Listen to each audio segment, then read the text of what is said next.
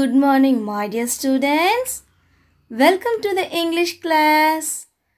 Today we are going to learn a beautiful rhyme. The name of the rhyme is I Pray. Come, my dear children, let us watch this video. God bless mommy. God bless daddy. Teacher. Help me always to make them happy.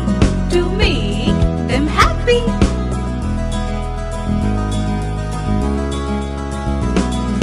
God bless mommy. God bless daddy. God bless teacher. Help me always to make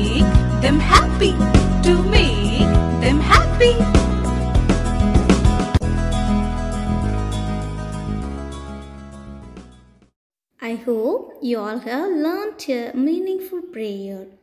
Dear children, let's practice this in our day to day life. Bye, children. See you in next class.